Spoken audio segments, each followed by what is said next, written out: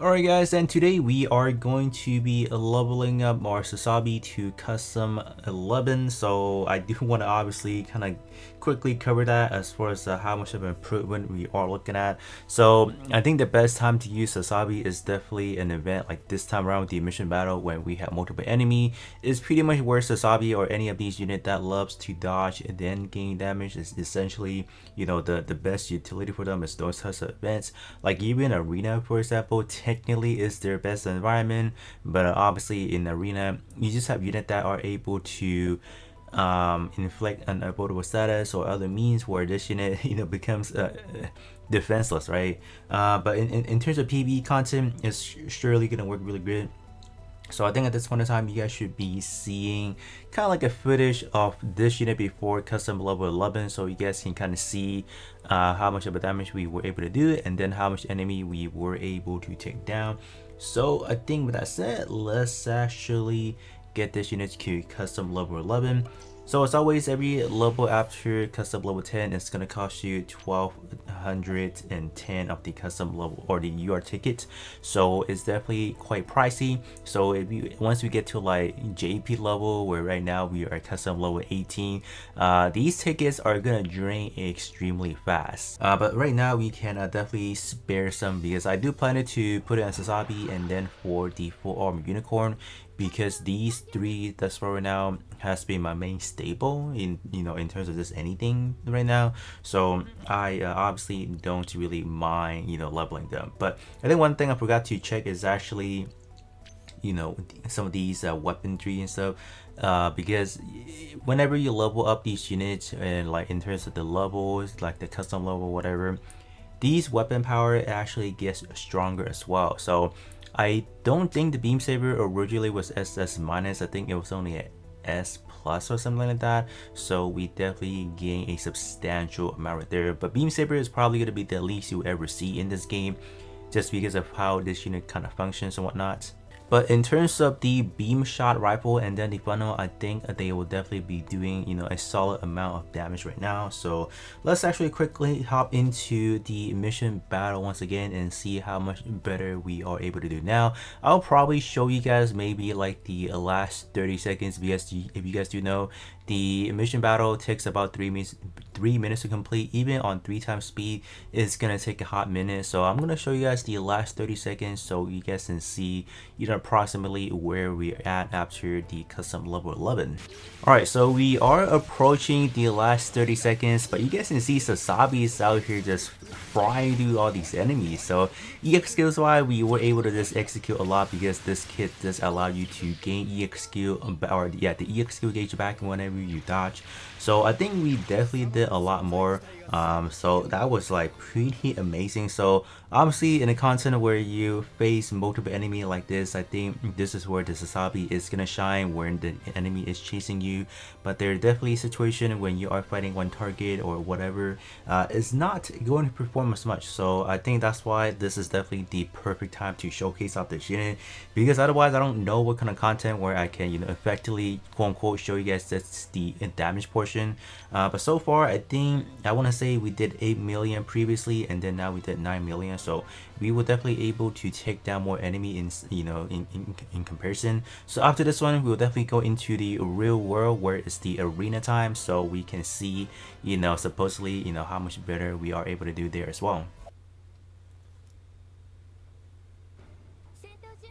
Alright, so we are in our first arena match and then all, all I'm seeing is uh, blue, red, and purple. So I do assume this one should be a pretty quick match to finish through. So usually my setup is something like this. Um, I think this should be fine. So I'm just to quickly do one time speed, put on Sazabi, and probably minimize this. So we can take a look at the damage before afterwards so we do know what's going on. Uh, I think so. Wow, I'm surprised everyone went down already. That is a shocker. Um, like can Sazabi even do something for us over here? Maybe. Like, all right, use the funnels. Oh, who are we? Oh, yeah, we got the Kshatriya. Oh, yeah, that's not that's not the most perfect unit to go up against because uh, it got the stuns or whatever. It, it has a lot of evasion as well. So I'm quite surprised we actually lost in that one. Uh, maybe I think in terms of bar lineup, we just have a lot of unit that was not able to inflict an avoidable status, which I think eventually, like the enemy whole team has that. So let's kind of see. Oh, Zaku 2. Hmm. I don't know. I feel like I don't know if Zaku 2 is overrated. I feel like yesterday I have similar problem as well where you know the Sazabi was or no the the Zaku 2 was just you know for whatever reason was just overwhelming me by but it was like this literally like that.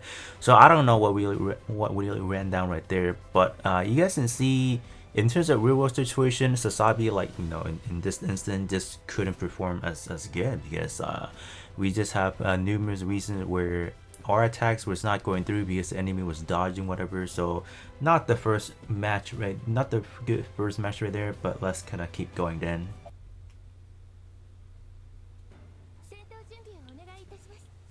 Alright, so this should be a fun match number two. So they went for kind of like a house structure build. Uh, I do see that a fully maxed out double Zeta over there. So let's kind of see how I want to construct the team. I think we will just go with something like this actually. Gonna do that. And then I will put in, I'm, I think I'll just do this. Would this even work? Um, I think we can definitely give it a try. I think the, you know what? We will just do this.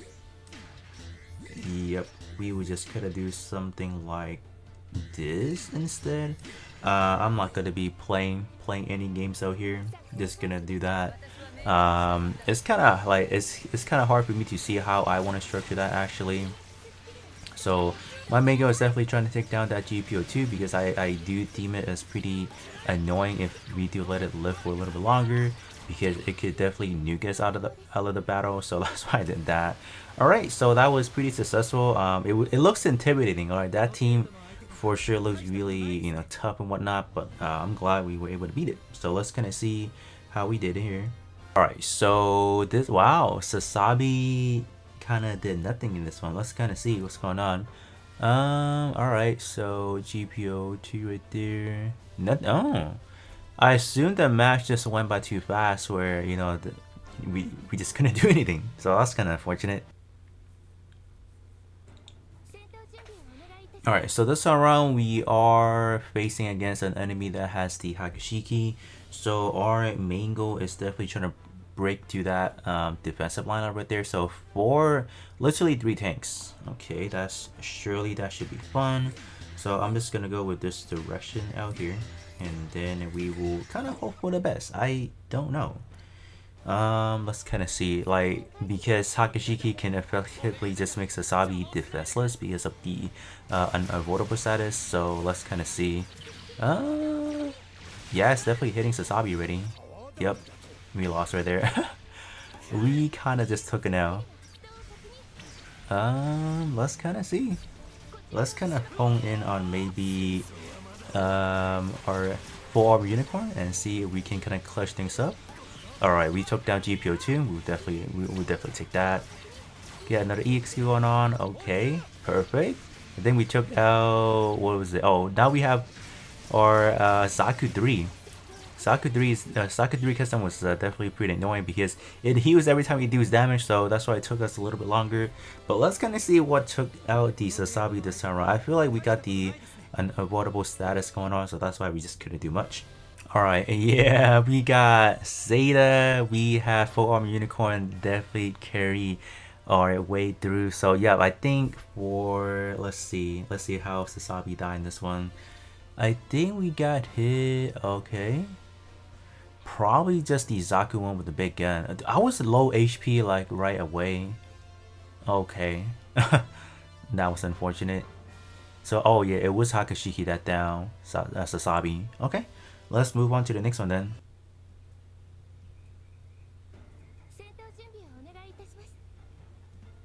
Alright, so in this setup, I'm gonna throw my double Zeta under the bus because I do see the Blue disc Destiny Unit 1. So what I'm gonna do, I'm gonna see if I can bait, let's say, Blue Destiny Unit 1 you want into hitting a Double Zeta instead because uh, Double Zeta is a new type machine as well so that's why we want to see would that even work. Um, as far as our lineup, let's just kind of do this and then Alright, I think that should probably work. Yeah. So I think Blue Destiny U1 is definitely gonna get into Double Zeta first, and then we will see. we will see if that works. Alright, let's just do this real quick. And let's see who took the bait. Um, it still targets Zeta. I think it's the type advantage. So I think it goes for the type advantage first. Then it goes into whatever other unit out there that are, that are uh, what is it? A new type. Um, but can we make it? I don't think so. Nope, we lost. Um, I think it was the fact that we took way too much damage from uh, Hakashiki. Simplest way I can put it.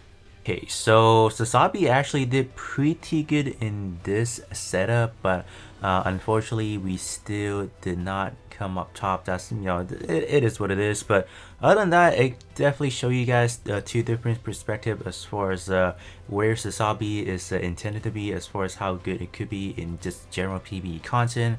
But as far as uh, arena wise, I think there's definitely uh, more work that needs to be done for Sazabi, especially on the evasion and just, you know, the survivability aspect of things. Um, but other than that, that's going to be pretty much it. And I'll be catching you guys on on the next one.